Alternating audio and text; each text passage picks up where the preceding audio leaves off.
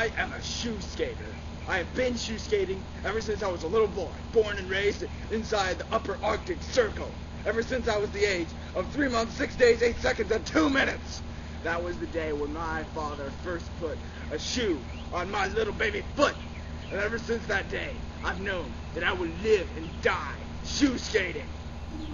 I have won the United National Tournament of Shoe Skating for one year consecutively. And I will not let that go to waste. Because I am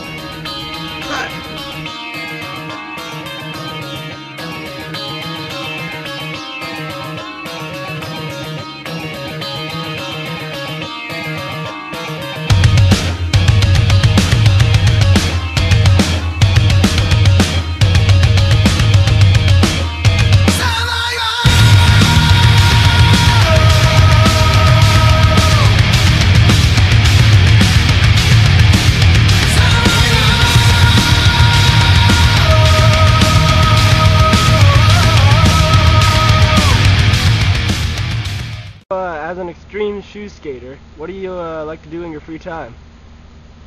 Well, you know, the, the normal kind of extreme shoe skating kind of stuff, like partying, going to concerts, hanging out,